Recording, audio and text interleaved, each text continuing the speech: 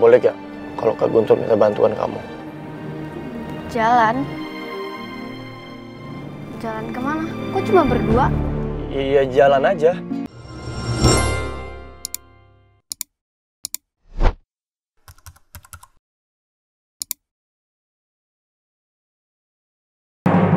Bagaimana situasi di rumah bumi?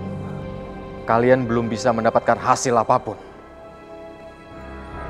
Awasi lagi yang benar. Masuk ke dalam rumah itu dan cari tahu apa yang ada di dalamnya.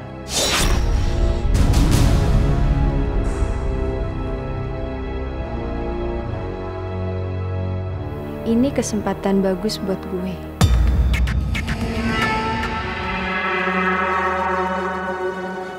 Om Bisma, Ya, Maaf tadi aku nggak sengaja dengar pembicaraan Om. Anak buah Om yang dikirim ke rumah bumi belum dapat informasi apa pun. belum. Mereka juga belum berhasil masuk ke dalam rumah itu. Om berharap dari sana kita akan tahu apa yang sedang direncanakan oleh klan harimau. Om merasa Wisnu atau Langit akan kembali ke sana membawa buku ramalan. Jadi ada celah untuk menyerang dan mengambil buku ramalan dari klan harimau.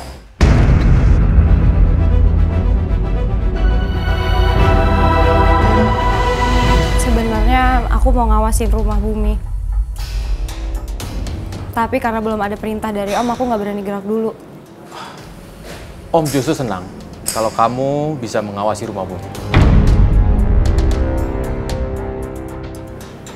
Oh iya Om, semalam aku dari mes karyawan cakar. Rencananya aku mau cari mata-mata buat aku hipnotis. Tapi ada manusia yang nggak bisa aku hipnotis. Dia sama sekali nggak terpengaruh. Padahal aku yakin banget kalau dia itu manusia.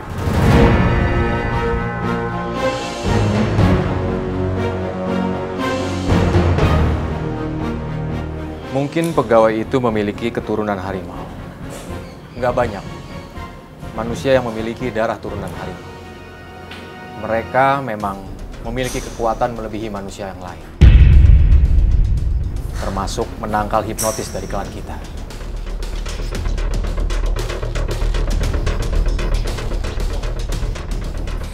Klan harimau pasti memperketat penjagaan di mes.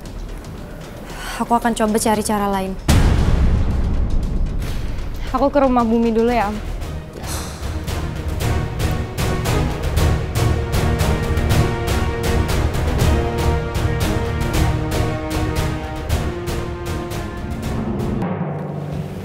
Tadi, sini aku nganterin. Ya. Oh iya, ini uang jajan kamu buat hari ini. Kamu yakin bisa berangkat sendiri? Kakak minta maaf ya, kakak nggak bisa nganterin kamu. Gak apa-apa kak, tadi udah gede, udah bisa berangkat sendiri. Bener ya? Iya kak. Pinter. Yaudah sini. Hati-hati ya. Iya kak. Dadah.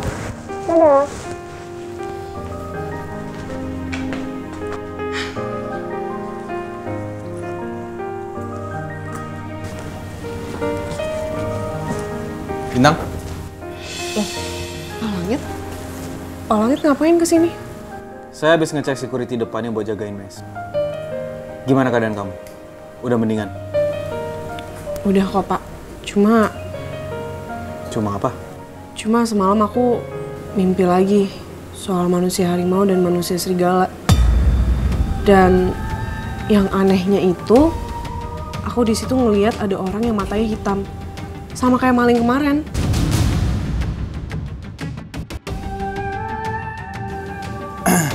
Ah, Bintang. Mungkin sebelum tidur kamu kepikiran soal maling itu. Jadinya kebawa mimpi. Udah deh Bintang, itu kan cuma mimpi, bunga tidur doang. Ya iya sih, tapi aneh banget mimpi itu kayak bener-bener nyata. Dan manusia harimau dan manusia serigala itu apa langit? Kenapa? Manusia serigala sama manusia harimau kenapa?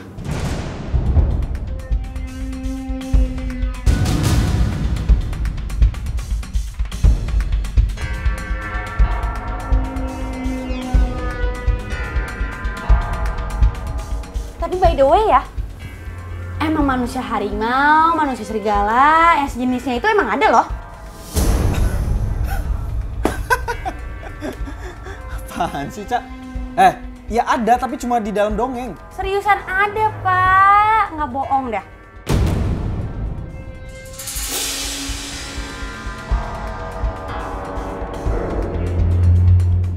Tunggu tunggu Cak. Lo tahu apa tentang manusia harimau dan manusia serigala? Ih banyak. Nih ya, kalau manusia harimau itu dari Sumatera. Tahu kan ini Sumatera? Nah, kalau manusia serigala itu dari gue juga lupa tuh dari mana. Tapi pokoknya intinya mereka itu musuhan. Udah gitu, kalau lagi bulan purnama nih, mereka berubah tuh jadi manusia harimau sama manusia serigala. Arr, gitu. Udah. Cerita dongengnya udah. Sampai lupa sama jam kerja. Aduh, iya nih. Yuk, yuk. Telat nanti. Terus gitu gaji kita dipotong sama Pak Ridwan. Hari Tuhan mulu. Kan bosnya ada di depan sini. Maaf ya Pak. Pak, bisa gimana Pak? Bapak gaulnya sama kita-kita yang pegawai. Kan jadinya kayak teman sepermainan gitu Pak. Pak, jangan potong gaji. Maaf. Sius.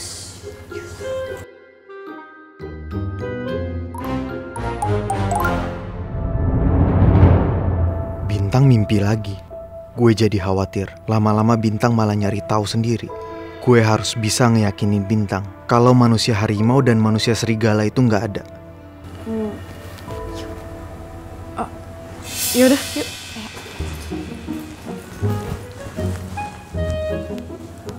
Pak Langit? Hmm? Pak Langit? Kok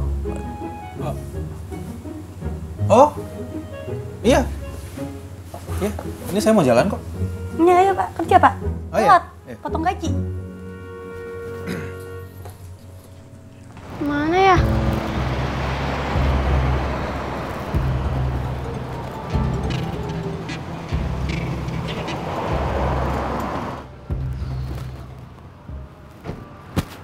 Mentari, Kak Guntur? kamu mau berangkat sekolah? Iya kak, tapi angkotnya belum datang-datang. Ikut bareng Kak Guntur aja ya. Hmm, nggak usah deh kak, Tari naik angkot aja. Tapi kan angkot kamu masih lama. Tari, kalau angkotnya nggak datang-datang gimana? Nanti kamu terlambat datang ke sekolah terus diomelin sama bu guru. Ikut sama Kak Guntur aja ya.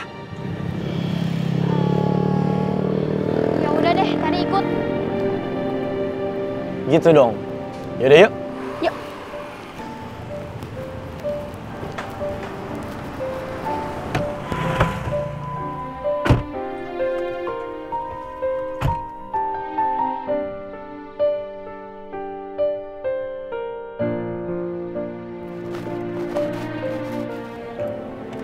Mentari, Ya kak. Kak Guntur tuh pengen jalan sama Kak Bintang berduaan. Tapi selalu nggak bisa dari kemarin. Hmm, boleh gak kalau Kak Guntur minta bantuan kamu? Jalan. Jalan ke mana? Kok cuma berdua? Iya jalan aja. Ke mana kek? Ya misalnya ke tempat yang bagus. Misalnya ke pantai. Atau aja ke wahana permainan. Atau... Ya, ya atau sekedar ke taman doang juga nggak apa-apa. Kak Guntur lagi nggak mau jahatin Kak Bintang kan? Kok kamu mikirnya malah kayak gitu sih? Enggak kok, beneran. Yang ada malah sebaliknya. Kak Guntur tuh malah pengen banget Kak Bintang senang. Pengen bikin Kak Bintang bahagia. Iya, kamu pikirin aja setiap hari Kak Bintang tuh kerjaannya cuma kerja doang. Kasian kan, dia pasti capek. Iya sih, kasian juga Kak Bintang. Capek-capek nyari uang buat sekolah tari. Nah itu juga yang Kak Guntur pikirin. Masa di hidupnya Kak Bintang cuma kerja dan kerja doang. Dia kan juga butuh hiburan. Kak Guntur tuh pengen bikin dia senang. Setidaknya bisa ajak dia jalan-jalan. Masa kamu nggak mau bikin kakak kamu seneng? Harusnya sih kalau kamu sayang sama Kak Bintang, ya kamu mau bantuin Kak Guntur. Kamu mau kan bantuin Kak Guntur? Iya deh, Tari mau bantu Kak Guntur. Itu dong. Jadi gini ya Tari, rencananya adalah nanti kamu ajak Kak Bintang keluar.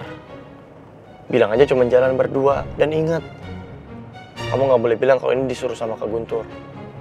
Nanti kita janjian di suatu tempat, terus Kak Guntur nanti nyusul di sana. Ngerti gak? Ngerti Kak? Makasih Tari. Sama-sama.